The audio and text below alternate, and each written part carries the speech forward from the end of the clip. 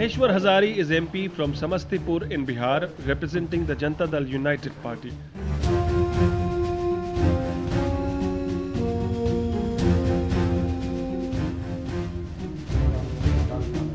The agent had already given a heads up about the MP's willingness to accept money in exchange for the recommendation letter sought by the Cobra Post reporter. And sure enough, in the brief conversation between the reporter and the MP, Maheshwar Hazari did not disappoint. The MP's enthusiasm for the task at hand was more than evident. देखे आपका project कथिया ये sir project की है। आप इतना दिन से काय मिले। हम लोग तो उसका कमेटी में बहुत दिन से हमने अब सर अब ये जब मिलाया है सब ये तो सर वो है। और ये प्रपोजल हम लोग तो कहाँ से कहाँ तक आपको जो काम करते सब करा देते सर। सर ये बस टाइम की बात होती है जब मुलाकात हुई। सर इस टाइप की चिट्ठी चाहिए। मेडिटेरियन ऑयल इंक है सर। ये डिगिंग का काम करती है देखती है पेट्रोल कहाँ कहाँ पर है। हम्म, तो ये अभी गवर्नमेंट ऑफ़ इंडिया ने लाइसेंस देने के लिए कि गवर्नमेंट ऑफ़ इंडिया खुद चाहती है कि पता चले कि पेट्रोल कहाँ कहाँ पर है। तो इन्होंने लाइसेंस के लिए निकाला हुआ है। हम्म, तो इस कंपनी ने अप्लाई किया है। हम्म, तो इस कंपनी को अपनी प्रोफ़ाइल इन्होंने बनाई है इनकी प्रोफ़ाइल ये है।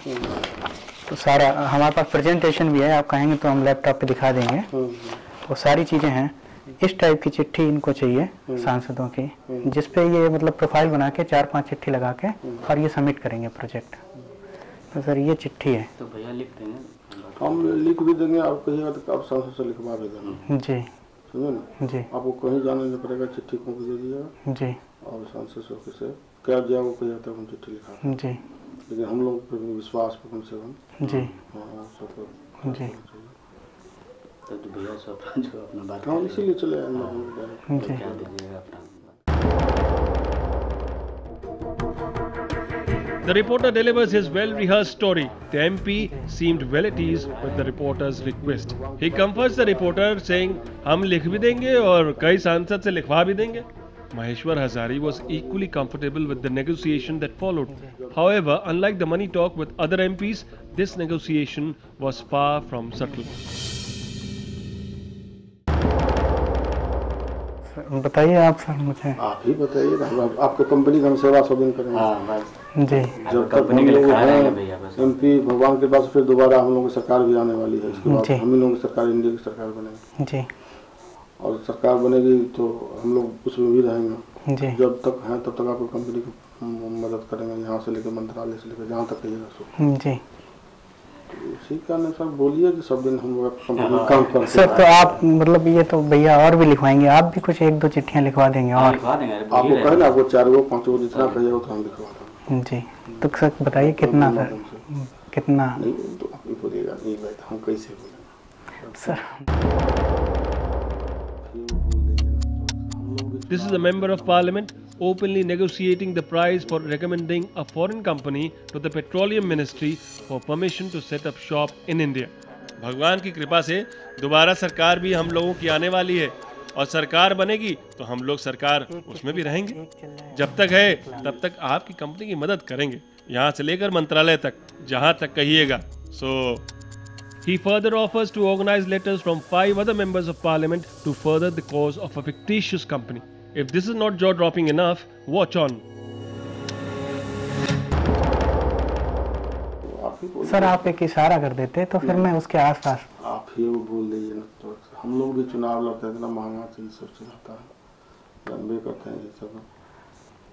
तो बोल दीजिए तो करा देंगे आप बताइए आप कुछ हम इशारा नहीं बोलेंगे आप भैया आप उठा दिए। आप ही बोलिए ना आप लोग बड़े बड़े आप हमको चाहे बोल दीजिए हम भैया को बोल देते हैं। एक चिट्ठी का एक चल जाएगा सर। एक लाख एक से क्या होगा एक लाख सही नहीं ही नहीं नहीं हम आपको। अथी मदद करेंगे ना This is India's own version of Ripley's Believe It or Not playing out on national television. Maheshwar Hazari is disappointed with the offer of 1 lakh rupees per letter issued. He says, एक से क्या होगा हम लोग एक बोली आदमी हैं इनसे पारिवारिक जी जी जी। हाँ। भैया से मेरा मतलब और और आपको इतना ही नहीं आप चिट्ठियाँ नहीं देंगे लड़ के करा देंगे। जी जी कोई दिक्कत नहीं हो जहाँ बोलेंगे आप लोग चलने के लिए तैयार रहेंगे। जी। कम से कम एगो पर पच पचो बता दीजिए। कितना? एक पर पाँच लाख बोल रहे हैं। हम प्रपोज मतलब हमें परमिशन लेनी पड़ेगी ऊपर अपने जो अरे सब दिन काम करेंगे। आप पाँचों जो इतना लिख के देंगे ना जो। ग्रुप हम लोगों का पाँच पाँच मतलब पाँचों लोग लिख देंगे इतने अमाउंट में पाँच लाख में। नहीं नहीं पाँच पाँच एक का बोल अच्छा। सबसे काम करा देंगे आपको जो आप दीजिएगा ना चिट्ठी। जी। चिट्ठी के साथ भैया जाएँगे जहाँ बोलेगा खड़े रहेंगे भैया। बस। ठीक है। कोई दिक्कत नहीं है। पेट्रोलियम मिनिस्ट्री से भैया ले जाएँगे पाँचों चले जाएँगे हम्म। ठीक है तो सर इसका पाँच के हिसाब से पच्चीस लाख हो गए सर। हम्म, तो मैं बात कर लूँ एक बार कंपनी से अप्रूवल लेके फिर भैया को बता दूँगा मैं। ठीक है sir. Okay thank you.